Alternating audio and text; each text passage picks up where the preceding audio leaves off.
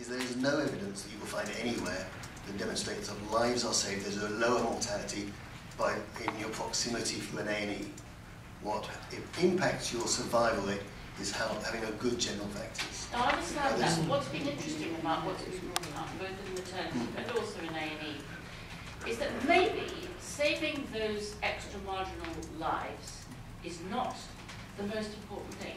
It may be that if you're old and frail got no car, actually going to a slightly less good place nearby suits you better and taking the risk than going to the, you know, better life-saving, more life-saving hub somewhere quite a long way away. But, but that's why we're keeping the local hospitals on each of those sites. The vast majority of things people go to hospital for, their outpatients, their diagnostics, will still be local.